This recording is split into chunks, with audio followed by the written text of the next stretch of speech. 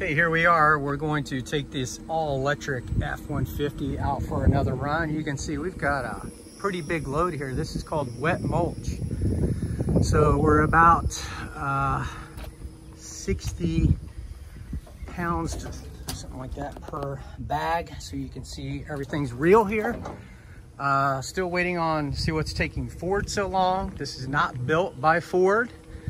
This is built by EVgine here, EVgine.com. And this is a 100% all electric F-150. All the OEM parts remain the same. OEM pedal, key switch, all the clusters original.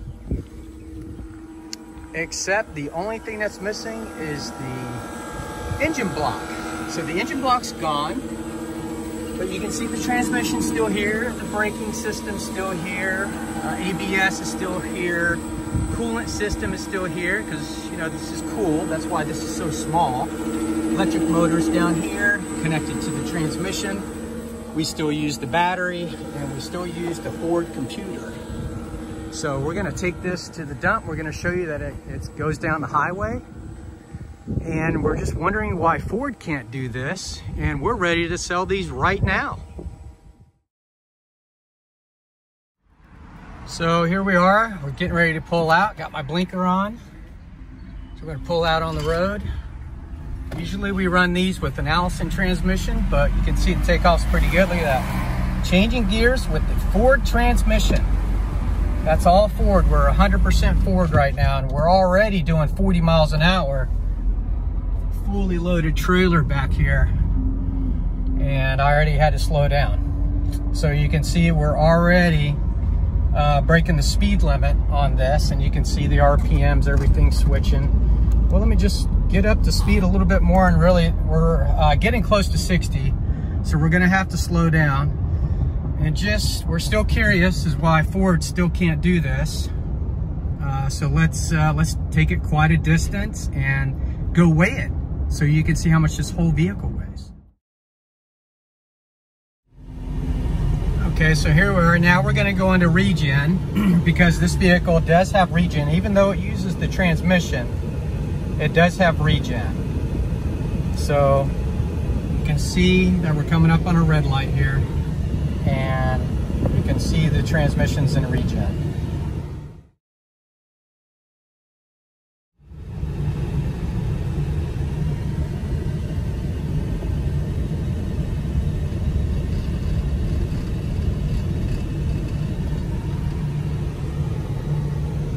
Okay, here we are. We're taking off at a light again, and we're gonna punch it. See transmission's working great. Still got this very heavy load. Gaining speed. Coming up on the next See, we're going up this hill. We're still doing about 55 miles an hour. Still cresting a hill. Actually gained speed going up the hill with a fully loaded trailer. There it is, still loaded. We are, I know we're in a 45 mile an hour zone, but know, you can see that we're still doing around 65 miles an hour. Maybe more, I don't know. Yeah, coming up on 70. Still fully loaded trailer. Unbelievable. Why are we the only ones doing this? Okay, here we are at the scales. You can see that we're at the scales here. This is where all the dump trucks go. We've got a full load right here still. Uh, you can see we were going up hills, doing a full load, going all the way uphill. But here's the key. This is where a lot of companies went out of business. They overheated their system going those speeds. That is probably about 90 degrees right Oh, this is water cool, about 90 degrees. Very, very cool. Everything's very cool because we got uh, quite a good system. Plus, we're not stressing out the electric motor either. We're not stressing out the batteries or anything. That's why we don't catch our motors on fire. We know how to design a system. And it's completely powered by EVgine, as you can see. So let's go scale this thing. Big trucks. We can build a truck like that, all electric. Okay, here we go. Gotta ease it in.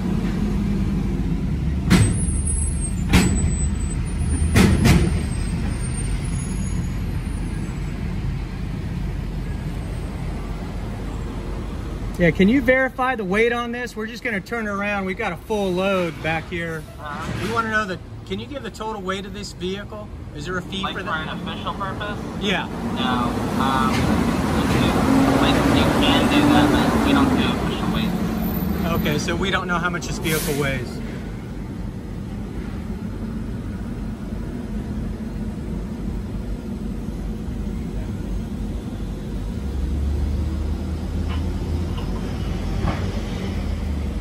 I can tell you right now you're at five and a half tons, but that's nothing official.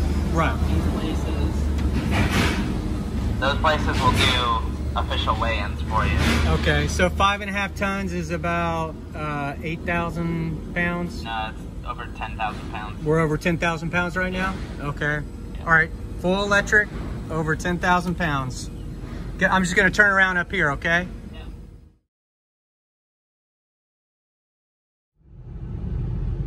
Okay, so there you go. Uh, we just got the sheet, uh, five and a half ton. We're over 10,000 pounds. And we're just trying to figure out why no one else is doing this. EVgine apparently has the most powerful system. I'm just, it's all OEM here. Uh, everything in here is OEM. Why is Ford not doing this on their electric truck? I mean, we can go up hills, we can go highway speeds. We can sit here like this and we can take off. We don't want to jar our load, but transmission's working. That's fully the transmission, changing gears. Oh, just, just hit a speed bump. Well, we were going way too fast for that, but you know what?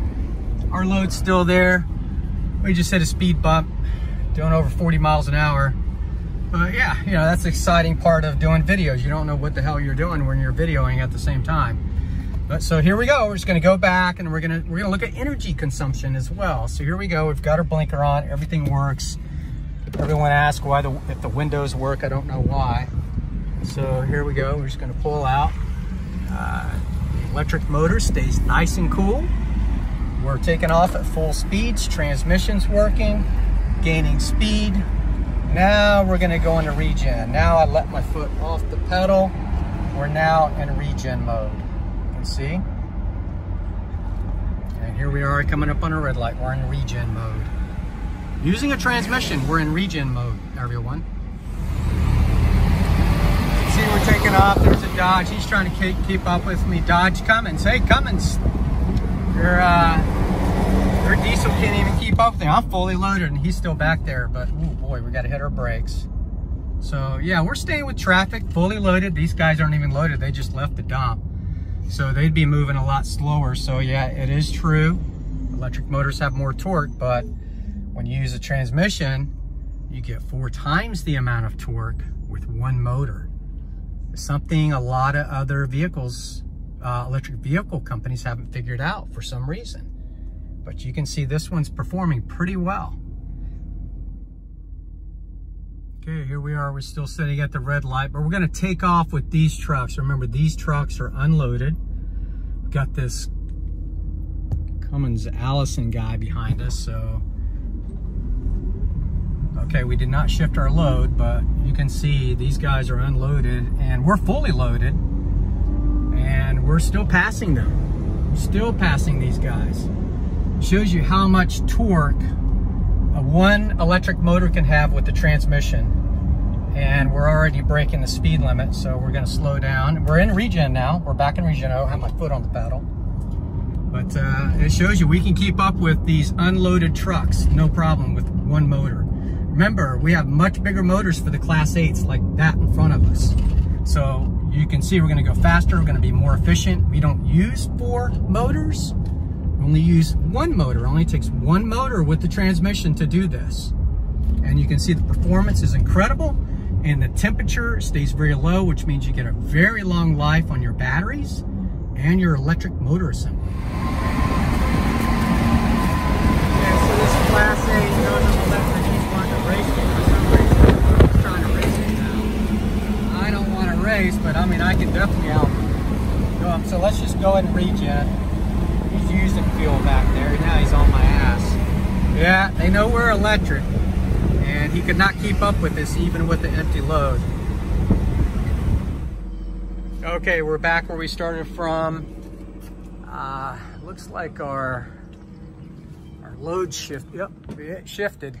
So that's because I didn't have it strapped down, but yeah, this is over 11,000 pounds total vehicle.